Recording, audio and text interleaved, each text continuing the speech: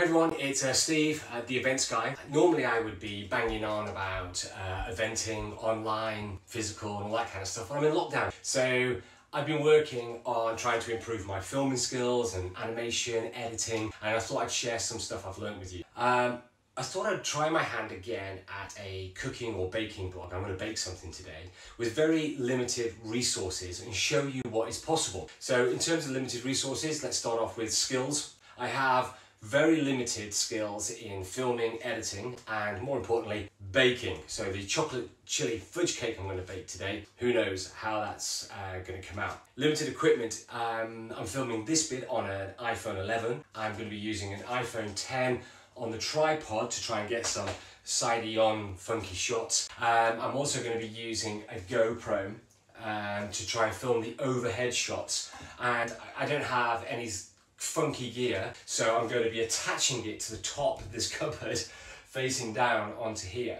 Um, what I have learned from watching YouTube and other experts to kind of get some advice on how to do this. All I know is that you just need a clean surface, uh, lots of clean pots and things to put all your ingredients in and to work chronologically. So that's what we're going to do. We're going to film chronologically making the cake. So at the end, we end up with something.